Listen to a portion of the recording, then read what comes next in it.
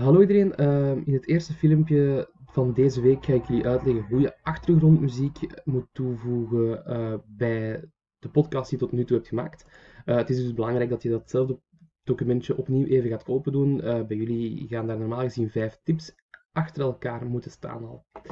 eerst en vooral de achtergrondmuziek, die mag je volledig zelf gaan kiezen. Um, je mag op YouTube iets leuk uitkiezen um, en dat gewoon even gaan downloaden. Of je hebt al muziek op je computer en dan kan je ook die gaan gebruiken. Uh, voor de leerlingen die niet weten hoe dat ze even een liedje moeten downloaden, um, we gaan gewoon heel snel even een liedje nemen. Zo, je gaat de link gewoon moeten kopiëren van YouTube. Daarna ga je naar de website die ook op het document staat. En ga je de link gewoon plakken. En je klikt gewoon op Convert. Daarna ga je hier klikken op de knop Download. Normaal gezien zal het liedje dan links onderaan gewoon zijn gedownload. Daarna gaan we terug naar ons programma. Uh, we gaan opnieuw gewoon een bestand gaan importeren. En het is een audiobestand, want het is een liedje. Uh, en dan gaan we naar de map Downloads. Daar gaat het normaal gezien staan en dan ga je zien dat het liedje dat we zo, met, zo net hebben gedownload daar ook gewoon klaar staat.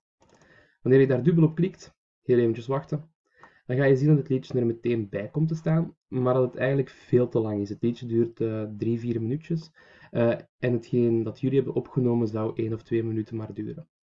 Wat is dan de bedoeling? Dat je eigenlijk het stukje van het liedje dat te veel is gaat selecteren. Hoe doe je dat? Je klikt gewoon, je houdt vast en je sleept tot achteraan. Dus je gaat eigenlijk alles selecteren dat je wilt verwijderen.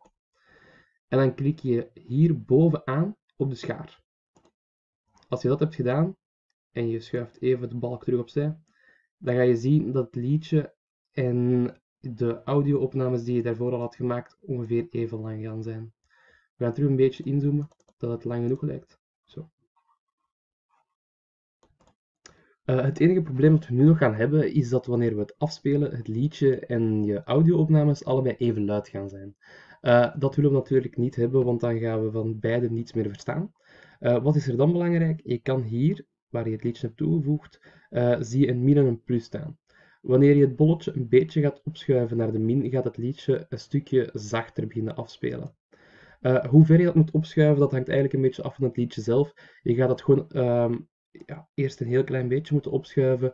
Druk eens op play en luister gewoon even. Wanneer je je eigen stem voldoende duidelijk verstaat en het liedje gewoon op de achtergrond afspeelt, is het perfect.